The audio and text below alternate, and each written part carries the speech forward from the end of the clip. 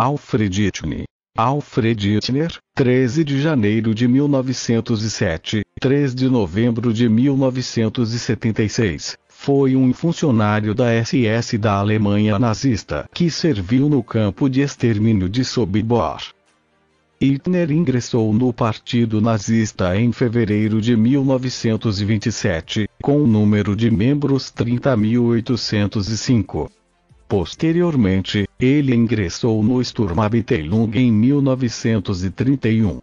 Trabalhou na equipe dos Gauleiters de Hamburgo e Berlim de 1934 a 1939, momento em que se transferiu para o programa de eutanásia da Erchon T4 em Berlim.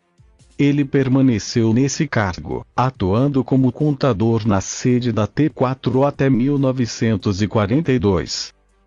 Em abril de 1942, Hitler foi trazido para a SS como parte da Operação Reinhard e enviado para Sobibor.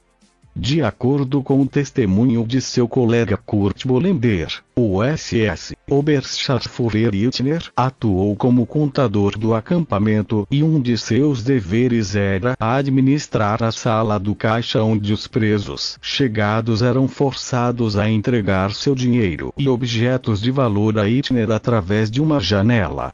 Herbert Floss sucederia posteriormente nesse papel encarregado de supervisionar em Lager 3, próximo à cena de uma vala comum, Hitler achou seu tempo nesse papel angustiante. Após quatro meses, foi, por seu próprio pedido, transferido para apoiar o ambiente relativamente menos complicado da ação T4 em 1944. Hitler trabalhou sob Franz Tango nesse papel, embora os dois tivessem um relacionamento ruim, com Hitler alegando que sua recusa em ajudar Stango a desviar fundos levou a um colapso entre os dois.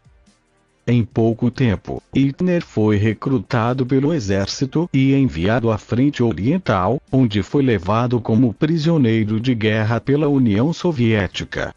Lançado em 1948, Hitler desapareceu até 1964, quando foi preso em sua cidade natal, Kulmbach, onde foi encontrado trabalhando como trabalhador manual levado a julgamento em Agen em 1965 por seu papel em Sobibor. Hitler foi um dos vários réus no julgamento considerado culpado, embora a sentença de oito anos de prisão relativamente branda proferida tenha sido amplamente condenada. Hitler declararia em relação a Sobibor o campo era uma organização grande e independente que tinha como missão matar o máximo de judeus o mais rápido possível. O assassinato em massa dos judeus não foi realizado por um único indivíduo, mas por uma multidão de pessoas da SS.